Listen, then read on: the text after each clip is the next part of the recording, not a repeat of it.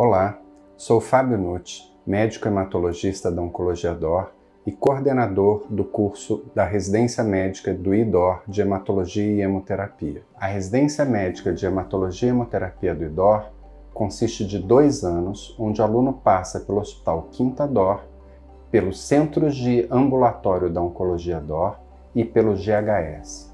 Nesses três ambientes, ele vê patologias benignas e malignas de hematologia, vê transplante de medula óssea e tem uma excelente formação em hemoterapia. As diferentes experiências que o aluno vivencia nesses ambientes faz da residência de hematologia e hemoterapia do IDOR única, porque traz, além de um conhecimento científico profundo, toda a inovação existente na hematologia.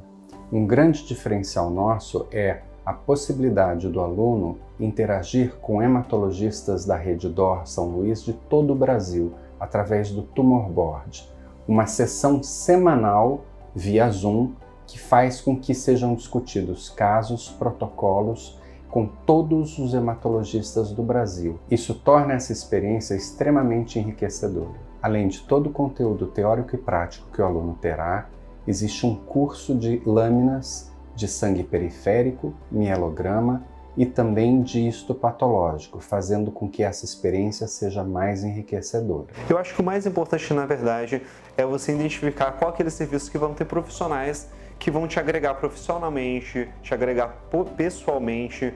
Aqui a gente sabe que, graças a Deus, aqui na Rede Dó, eu tenho, são vários médicos de vários serviços, então eles conseguem discutir com a gente vários artigos, dão suporte acadêmico.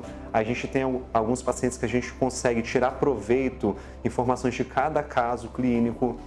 Eu acho que é o mais importante, você saber aproveitar os profissionais que estão do lado, saber que você tem uma equipe boa do seu lado para você tirar proveito deles e, e, e adquirir o conhecimento com eles. E a partir disso você correr atrás também do seu conhecimento para você aprender e se tornar um melhor profissional.